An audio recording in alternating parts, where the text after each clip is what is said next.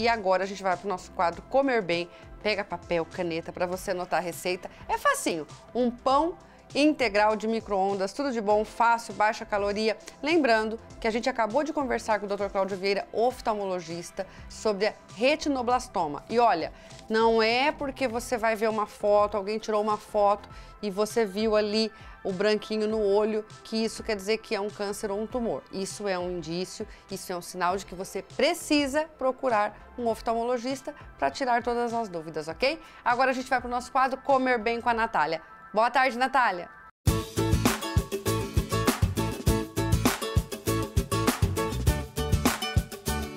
Comer bem. Oferecimento. Canda, a força do campo.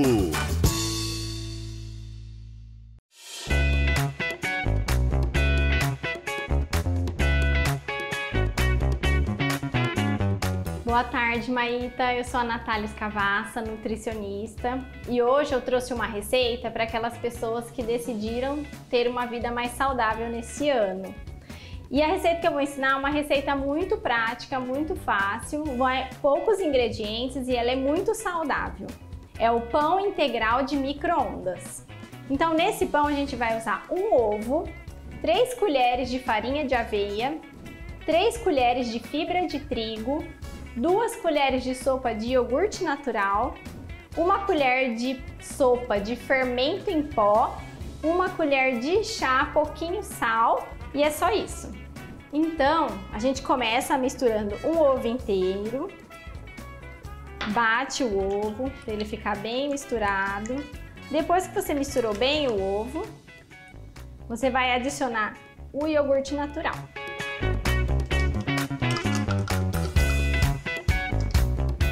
Mistura bem novamente. Agora você coloca a fibra de trigo. Novamente você vai misturar bem.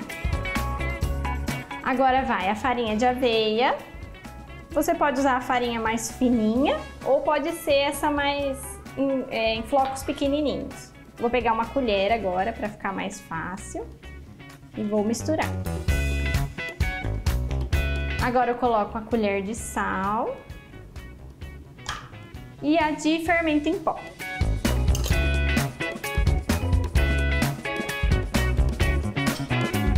Depois de bem misturada, eu vou colocar num recipiente que pode ir no micro-ondas. Eu vou colocar nesse de vidro, de preferência quadrado, porque vai lembrar um pão de forma.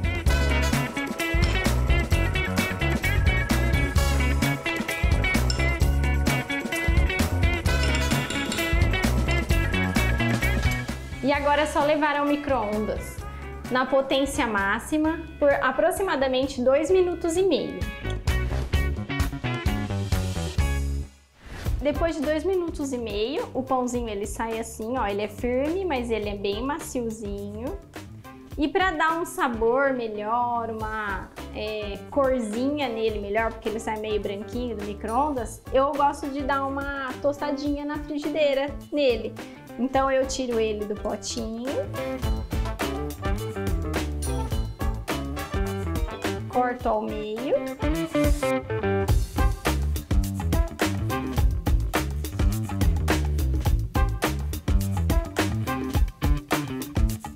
O nosso lanchinho pronto, fica bem maciozinho, bem saboroso.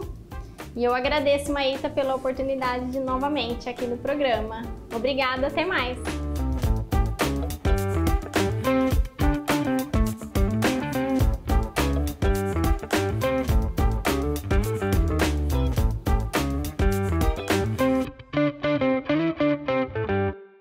Obrigada pela participação, Natália. Mais uma vez eu ainda não provei, mas com certeza sábado que vem eu já estarei, se Deus quiser, na nossa cozinha e aí sim eu estarei provando todas as receitas.